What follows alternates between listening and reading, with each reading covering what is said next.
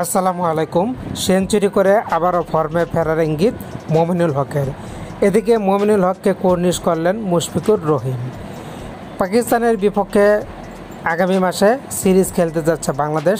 তার আগে বিসিবি সাদা পোশাকে ম্যাচের আয়োজন করে, যেখানে লাল দল, সবুজ দলে ভাগ হয়ে গেলে ক্রিকেটাররা।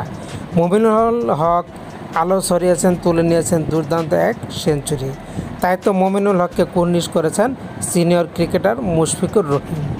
মমিনুল হক নিজেকে মেলে ধরেছেন, প্রমাণ করেছেন, তিনি ফুরিয়ে যাননি, আবার টেস্ট ক্রিকেটে রাজত্ব করতে আসছেন, যেখানে তিনি একশো তিরাশি বল খেলে একশো তেইশ রানের একটি জগজগে ইনিংস উপহার দিয়েছেন।